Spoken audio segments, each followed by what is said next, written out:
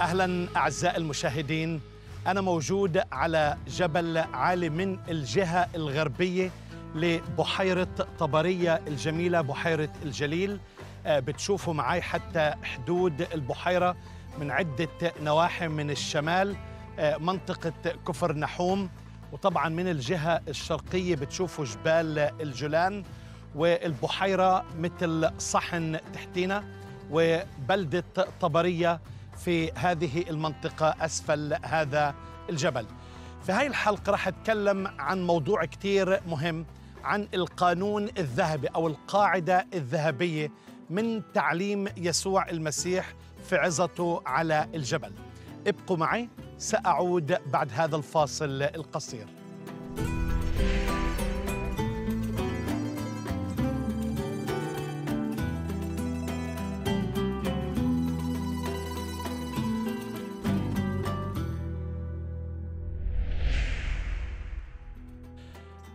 قال يسوع فكل ما تريدون أن يفعل الناس بكم افعلوا هكذا أنتم أيضا بهم لأن هذا هو الناموس والأنبياء.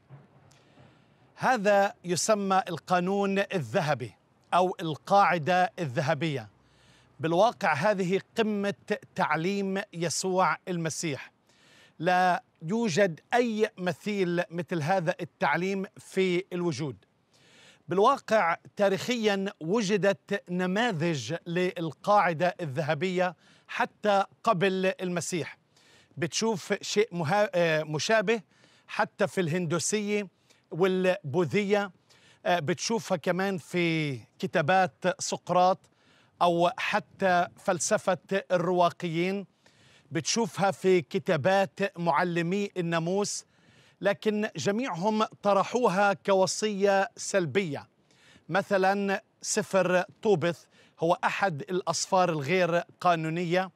آه بيتكلم عن هذا الموضوع لكن بيتكلم كوصية آه سلبية. قال آه في نفس الشيء كمان في المعلم هليل مشهور عند اليهود. قال ما هو بغيض لنفسك لا تفعله أو لا تعمله لغيرك؟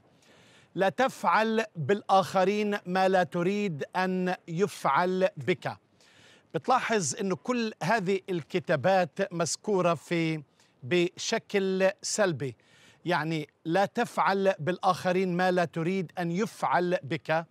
بالمقابل قال يسوع فكل ما تريدون أن يفعل الناس بكم افعلوا هكذا أنتم أيضا بهم لأن هذا هو الناموس والأنبياء. أحبائي المسيح جعل هذه القاعدة قاعدة ذهبية وصية إيجابية.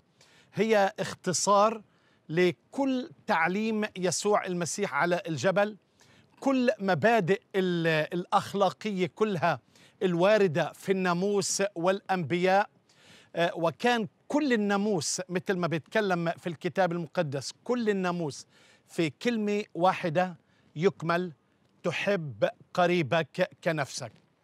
القاعدة الذهبية هي أساس الأعمال الخيرية أعمال الخير والرحمة.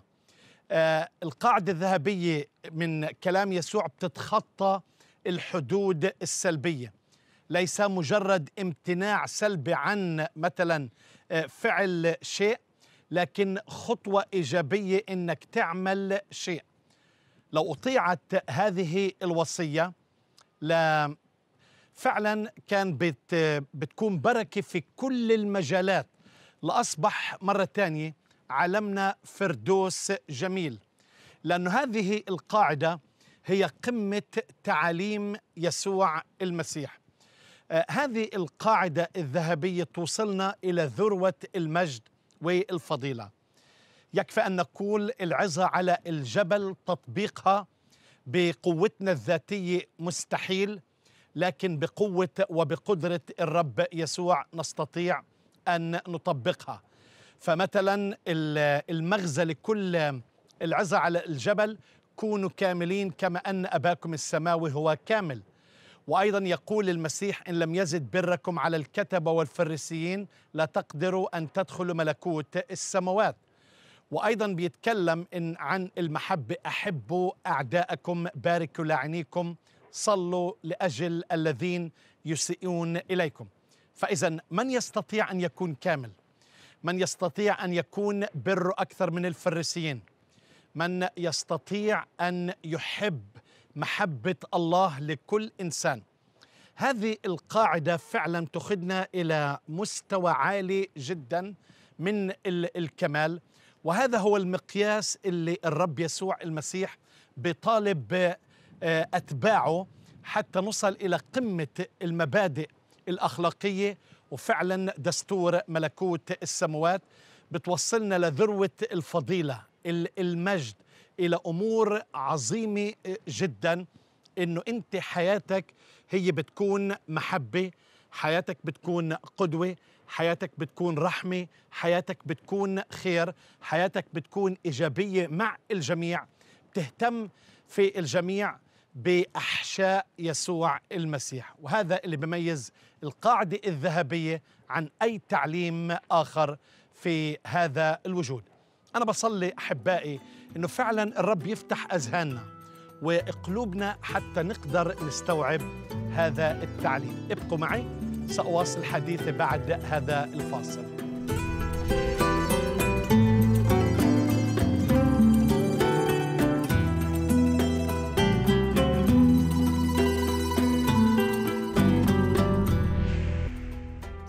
Golden rule to love your neighbor as yourself, to love God with all your heart, soul, and mind, and to do to others as you would have them do unto you is a very well known principle in Judaism and in other societies. In fact, I think Hillel gives us the opposite. He says, Do not do unto others what you don't want them to do unto you. And it's a, it's a wonderful standard, it's a wonderful plumb line for understanding what the heart of the gospel is where Hillel says, Do not do unto others what you would, don't want them to do unto you, there we have sort of a principle of restraint, but Jesus wants it to take us to take it a step further, which is to be active. Do unto others what you would like them to do unto you. If you are seeing a person in need, help them. Because if you were in need, you would want them to help you. This is how Jesus' love is expressed. I was hungry and you fed me. I was naked and you clothed me. I was thirsty and you gave me something to drink. Whatever you do to the least of these, you are doing unto me. Do unto others as you would have them do unto you.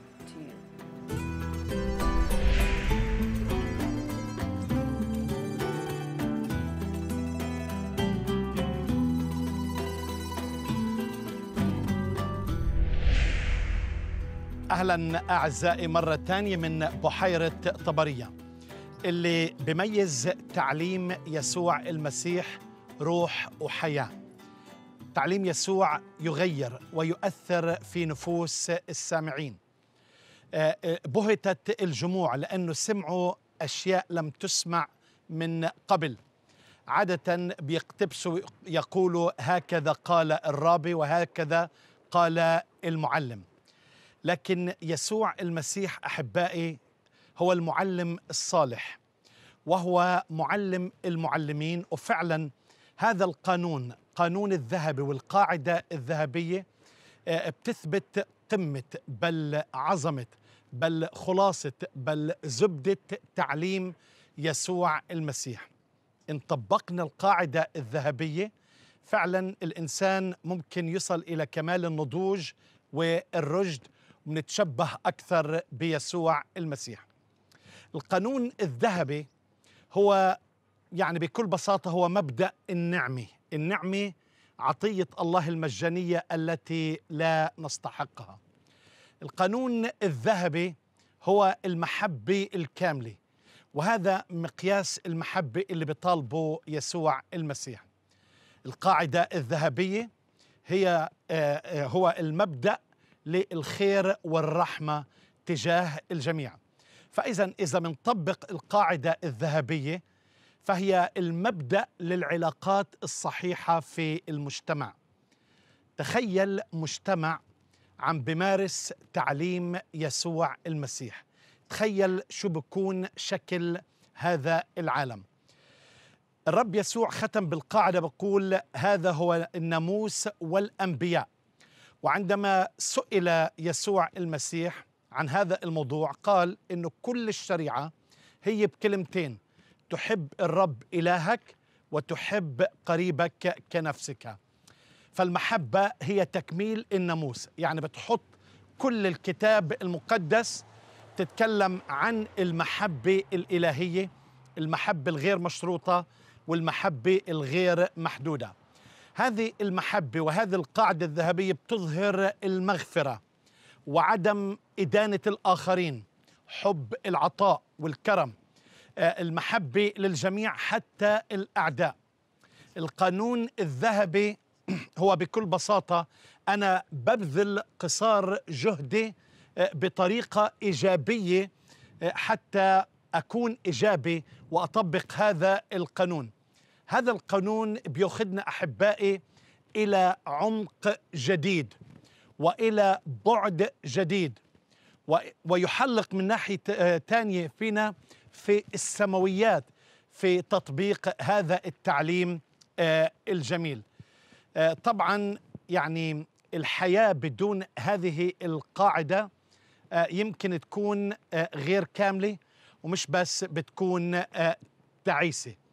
لكن أحبائي نعمة الله هي الحياة الممتلئة الفياضة. هذه هذه العطية من نعمة الله بتقودنا إلى أنهار مياه حية بتعلمنا الدوافع الأعمق لاتباع يسوع المسيح. بكل بساطة تتشبه بيسوع المسيح. هذا هو الناموس والأنبياء. فاذا هذا هو أساس التعليم وهذا هو أساس العمل. يمكن الآخرون قالوا شيء شبيه لكن بشكل سلبي. هاي ممكن نسميها القاعدة الفضية. لكن القاعدة الذهبية أحبائي لم تركز على السلبية لكنها تركز على الإيجابية. بتركز على الخلق والإبداع. بتركز على المحبة. بتركز على أسلوب حياة وعلى نمط حياة. في هذه الحياة آه، هي بكل بساطة النعمة. فالناس بتشوف نعمة المسيح ومحبة المسيح وعطاء المسيح آه، من خلالك. فأنت طبعا بالحتم أنت ما بدك الناس تعمل شيء رديء فيك أو شيء غير مستساغ أو أنت ما بتحبه. فبنفس الطريقة أنت اعمل للناس اللي أنت ما بتحب إنه يعمل فيك. فأنت لما بتقود الناس إنك أنت دائما تقدم الخير والعطاء والمحبة هذا طبعا أنت بتعمل في مستوى إيجابي أبعد وأكبر من إنك أنت لا تفعل. فمثلا يقول الكتاب من يعرف أن يفعل حسنا ولا يفعل تحسب له خطية. فاذا السلبية مش إذا أنا ما عملتش لكن الإيجابية أنا أعمل وأحب أن أعمل. وبتمتع بهذا العمل وبكون راضي انه أعمل هذا الشيء. إن طبقنا القاعدة الذهبية نصل إلى المستوى اللي الله بيدعونا إليه. الرب يباركك.